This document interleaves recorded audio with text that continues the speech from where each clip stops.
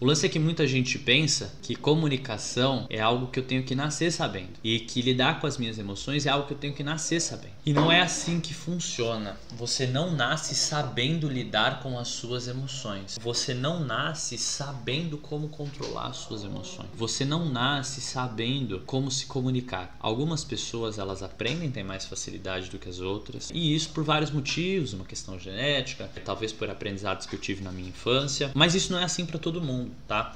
Habilidades elas são aprendidas e inteligências são aprendidas, tanto quanto a inteligência emocional, né? O que que acontece quando eu começo a lidar com a minha timidez? O que que acontece quando eu começo a me relacionar melhor com as minhas emoções? Acontece que eu tenho mais chances de ser percebido. Ser percebido numa entrevista de emprego, por exemplo. Eu chego numa entrevista de emprego e o que vai me colocar dentro dessa empresa, que vai me fazer passar nessa entrevista de emprego, é a impressão que o entrevistador vai ter de mim. E o entrevistador não vai fazer uma amizade com você, não vai te adicionar no Facebook, te acompanhar, não vai ser seu melhor amigo. Ele não vai te acompanhar por uma semana para ver você no dia a dia. Você vai ter alguns minutos para conversar com ele. E se você sair bem naqueles minutos, a chance é que você consiga algum emprego. Agora, se você travar, a chance de que você não consiga, entende? E mas só na entrevista de emprego não. Às vezes para que você consiga um sócio, às vezes para que você consiga uma oportunidade num negócio diferente, às vezes para que você consiga mais amigos, às vezes para que você se sinta melhor consigo mesmo, para você crescer dentro de uma empresa.